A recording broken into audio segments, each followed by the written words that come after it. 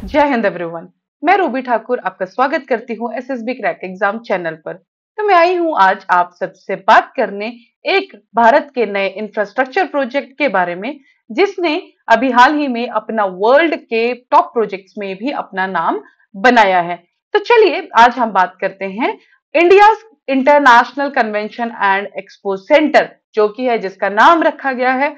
यशो भूमि के बारे में। तो हम जानेंगे पूरे लेक्चर में कि यशो भूमि क्या है क्या क्या इसके मेन फीचर्स है और इसमें ऐसे कौन से फीचर्स है जिसने इसको वर्ल्ड के टॉप प्रोजेक्ट्स में एक नाम दिया है। तो चलिए बढ़ते हैं आगे। तो इस पर्टिकुलर जो न्यूज़ के बारे में हम बात करने जा रहे हैं बेसिकली कल 17 सितंबर के दिन, जिस दिन हमारे प्रधानमंत्री जी का बर्थडे भी होता है, उसी पर्टिकुलर दिन ये करेंगे अनाउंसमेंट इस चीज़ की जो है first phase of India International Convention Centre जिसका नाम रखा गया है यशो भूमि जो कि है हमारा दिल्ली में, जो कि द्वारका। द्वारका में दिल्ली में पर्टिकुलरली इसको बनाया जा रहा है।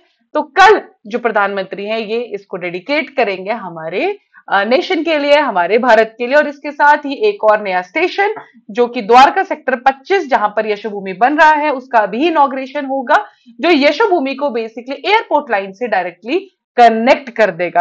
अब हम जानेंगे आगे डिटेल में कि सारी बात क्या है। तो जो हमें हम सब जानते हैं कि मोदी जी का वर्ल्ड में बाकी जो हमारी मीटिंग्स को लेके या वर्ल्ड में जो उनके रिलेशन है बाकी कंट्रीज़ के लिए हमेशा उस पर एक फोकस पॉइंट रहा है। उसी पर्टिकुलर चीज़ के साथ उनका एक जो सपना था, एक जो विजन था, वो था हमारे देश में वर्ल्ड क्लास इंफ्रास्ट्रक्चर बनाने के लिए। और ये जो यशो भूमि है, उसी के लिए एक पहला स्टेप आप कह सकते हैं। तो जहाँ पे हमारी बेसिकली क्या होंगी? मीटिंग्स कॉन्फ्रेंसेस एंड एग्जीबिशंस तो चलिए बढ़ते हैं आगे। तो पर्पस कोई भी अगर कन्वेंशन सेंटर होता है तो उसका जो मेन पर्पस होता है, उसका बेसिकली है large scale events and conference भारी मात्रा में जब लोगों को इकट्ठा करके कोई कॉन्फ्रेंस करना, ठीक है, उसी का यही जो पर्पस है, वो सेव करता है हमारा कन्वेंशन सेंटर जिसके अंदर आप आइडिया शेयर कर सकते हैं, या कोई भी पर्टिकुलर चीज़, जैसे हमारी बड़ी बड़ी कन्वेंशन होती है, हाल ही में हमने जी ट्वेंटी सबमिट किया, वैसे ही अगर और भी कुछ कॉन्फ्रेंसेज इवेंट्स हो तो उन पर्टिकुलर चीज़ों में हम इन कन्वेंशन सेंटर्स का यूज़ करते हैं। तो अब हम स्टार्ट करते हैं यशो भूमि को जानने के लिए पूरा का पूरा डिटेल्स कि ये यशोभूमि बेसिकली है क्या।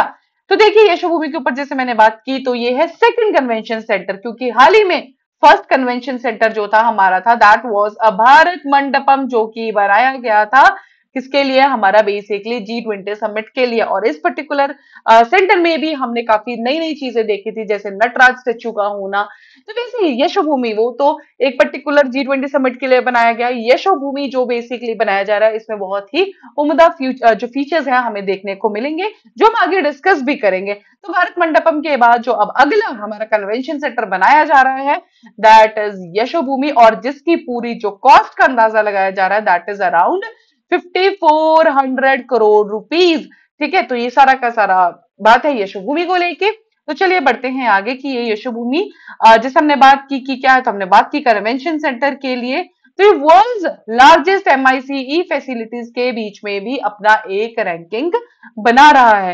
एमआईसीई का मतलब क्या है? Meetings incentives conferences and exhibitions तो इनको माइस फैसिलिटीज़ बोलते हैं, जो बेसिकली जहाँ पे बड़ी बड़ी ऐसी कॉन्फ्रेंसेस या ऐसी कोई भी जो इंफ्रास्ट्रक्चर बेसिकली डिज़ाइन किए जाते हैं, किस चीज़ के लिए हमारे ऐसे बड़े कन्वेंशन या ऐसे जब डेलीगेट ग्रुप्स जब मिल रहे हो, उनके पर्टिकुलर मीटिंग्स के लिए जब हम उनको यूज़ करते हैं। तो इसका जो टोटल एरिया है प्रोजेक्ट एरिया है, वो है 8.9 लाख स्क्वायर मीटर्स टोटल जो बिल्टअप एरिया बन के आएगा that was 1.8 lakh square metres तो आप देख सकते हैं कि ये वैल्यूज़ अपने आप में ही कितनी बड़ी है। तो ये कितना बड़ा एक स्ट्रक्चर बनने वाला है।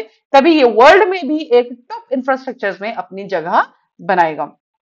तो सबसे पहला जो की फीचर है हमारा यशो भूमिका है that is related to the largest LED media facet तो देखिए ये तिहत्तर हज़ार स्क्वेयर मीटर ऑफ़ एरिया का कंप्राइज करेगा। इसके अंदर बेसिकली है क्या? पंद्रह कन्वेंशन रूम्स हो गए मेन ऑडिटोरियम रहेगा ग्रैंड बॉल रूम रहेगा तेरह मीटिंग रूम्स को जगह दी गई है इसमें बेसिकली और जिसके अंदर ग्यारह हज़ार डेलीगेट्स एक टाइम पर आके बैठ सकते हैं। तो आप सोचिए, ग्यारह हज़ार लोगों को एक ही पर्टिकुलर जीव है और वो भी कोई ऐसे नहीं कि आपने ग्राउंड में इकट्ठे कर दिया, उनको पर्टिकुलरली प्रॉपरली एक सीटिंग के साथ। क्योंकि जब डेलीगेट्स की बात आती है ऑफकोर्स बाकी कंट्रीज़ की हाई अथॉरिटीज ही आपके पास आती हैं तो आप उनको नॉर्मली तो ट्रीट नहीं कर सकते हैं।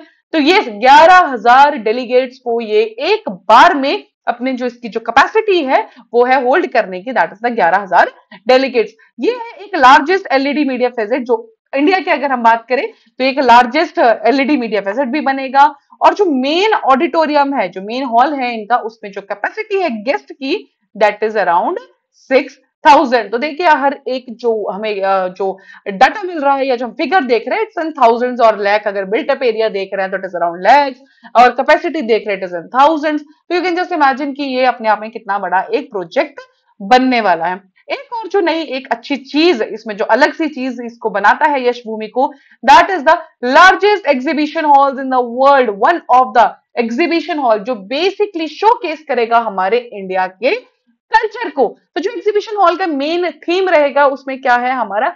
इंडिया कल्चर के बारे में बताया जाएगा। अलग अलग रंगोली पैटर्न्स उसमें दिखेंगे।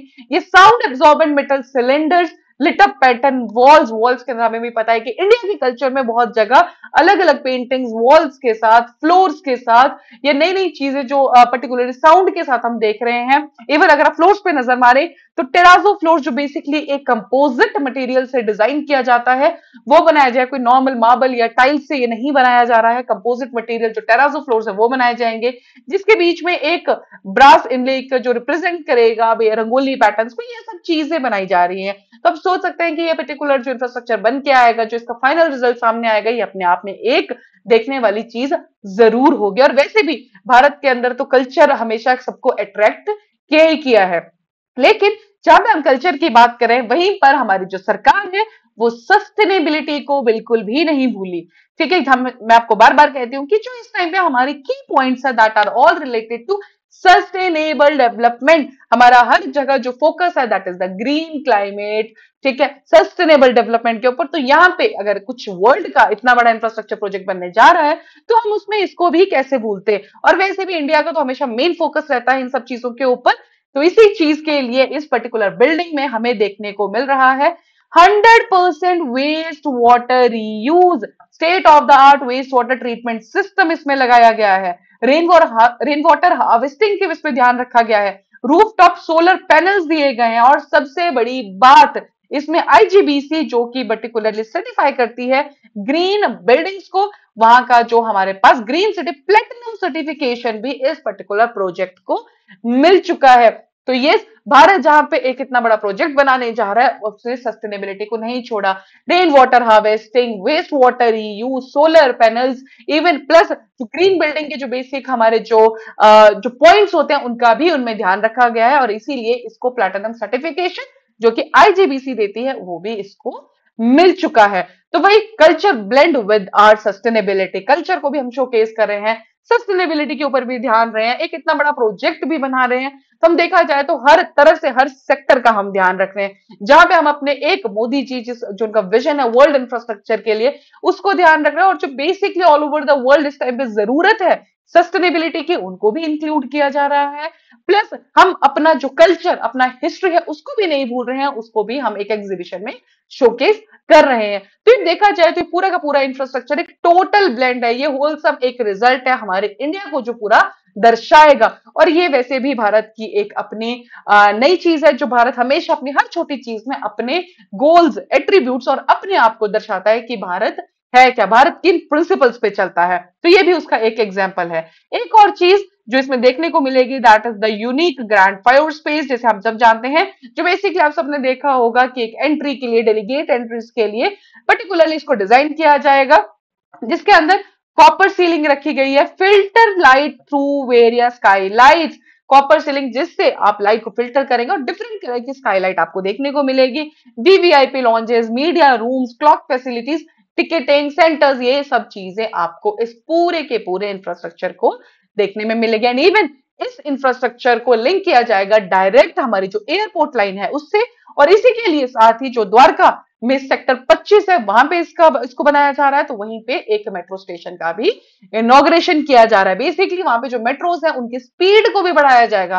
हाल ही में जो हमारी स्पीड है मेट्रोस की, वो चलती है 90 किलोमीटर पर आवर। लेकिन इस प्रोजेक्ट के बाद आपको स्टार्ट किया जाएगा। 120 किलोमीटर पर आवर की स्पीड से हमारी जो मेट्रोज है, वो चलेंगी। इवन जो ट्रेवलिंग टाइम है एयरपोर्ट टू यशोभूमि, वो स्पेसिफिकली रखा गया है सिर्फ़ 21 मिनट थ्रू मेट्रो तो ऑफ़ कोर्स कनेक्ट कर रही है, अगर मान लीजिए कोई डेलीगेट्स एयरपोर्ट पे ही सब आएँगे, ठीक है तो वहाँ से डायरेक्टली आप कनेक्ट कर रहे हैं। So this is a very हर एक चीज़ का ध्यान रखा जा रहा है। कल्चर सस्टेनेबिलिटी इवन कनेक्टिविटी के ऊपर भी ध्यान रखा जा रहा है।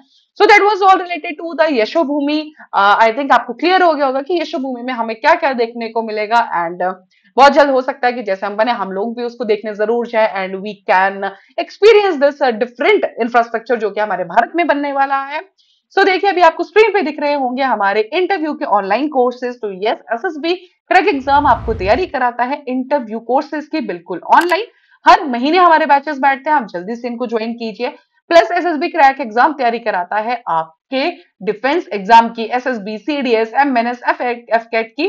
तो आप जल्दी से एनरोल कीजिए इन कोर्सेज में और जब भी आप एनरोल करें तो डिस्काउंट कोड जो कि है वॉरियर टेन ये लगाना ना भूलें। जैसे वॉरियर टेन लगाएँगे, आपको मिलेगा टेन परसेंट का ऑफ़ उस पर्टिकुलर कोर्स में। So that's all for the day thank you so much जय हिंद जय भारत अगर आप एक डिफेंस एस्पिरेंट हैं और SSB interview NDA S F CAT जैसे एग्ज़ाम्स के लिए प्रिपेयर कर रहे हैं तो आप S S B crack exam के कोर्स को चेक करना ना भूलें। आप हमारी लर्निंग एप्लीकेशन को गूगल प्ले स्टोर से भी डाउनलोड कर सकते हैं।